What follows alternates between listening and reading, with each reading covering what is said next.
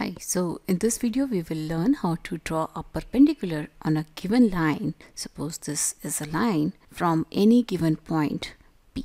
So to draw the perpendicular, first we will draw a circle with center point P and the radius of the circle will be in such a way that it will cut this given line in two distinct points. So let me draw the circle.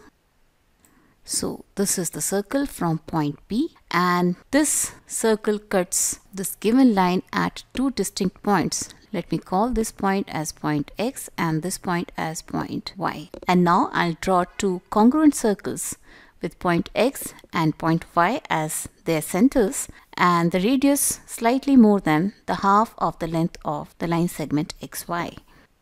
So let this be the first circle and let this be the second circle. And now I'll draw a line from point P to this intersection point.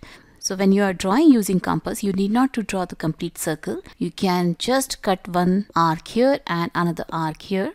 You need not to draw the arcs over this side because after this, I'm actually going to join the point P with this point of intersection and we can extend it if you want. And this line will actually be the perpendicular on the given original line. So this is how you draw a perpendicular from any given point to any given line. So what is the logic behind this exact procedure? So when you take point P as a center of the circle and draw this gray color circle, you are actually making an isosceles triangle over here whose equal sides are actually equal to the radius of the circle. And we also know the median drawn from the point where two equal sides of an isosceles triangle meet, that means this point is always a perpendicular bisector of the third side, which is x, y in this case. So we are actually making an imaginary isosceles triangle PXY and